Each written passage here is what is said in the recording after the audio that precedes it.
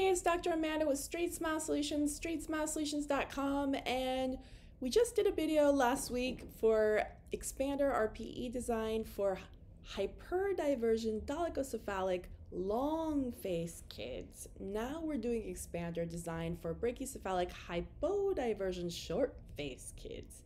Two different things. So, in order to, I mean, I can tell just by looking at a patient if they're short face, long face, I mean, middle face, whatever.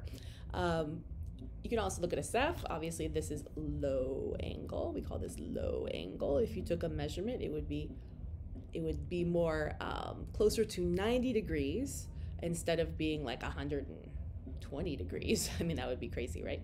The mandibular plane angle. But anyways, whenever you see someone with a short lower face, low plane angle, so we're talking about, you want a different type of expander design than you would for someone that has a longer face. So please refer to that other video first before you watch this one. Okay, so let's talk about short face kids.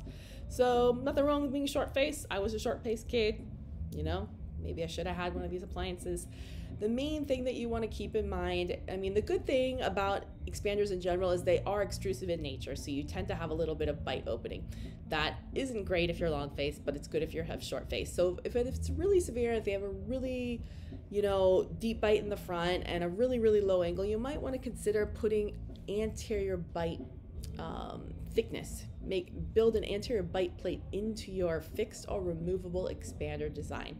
And obviously that is something you do on the top, they're gonna go ahead and stack acrylic. Remember, even if you're making an upper only, you always wanna send the lower as the opposing so they know how to stack and where to put the acrylic. If there's more overjet, they're gonna put it further back than if there's less overjet, right? So they have to kind of stack it where it is. They wanna see exactly where the occlusion is so they know where to stack the acrylic and know how much to stack the acrylic for.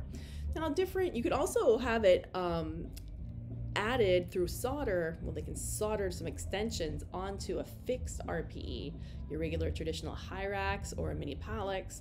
They will solder arms onto it. I don't have a good picture of this here that I can show, but I do have other videos in my YouTube channel. If you go to my YouTube channel, Straight Smile Solutions, scroll down, go to the phase one playlist. We do have some content on that. But yes, definitely put an anterior bite plate on these cases. That helps to prop open the bite so that the back teeth aren't touching so that the curve of Spee will naturally level while you are expanding.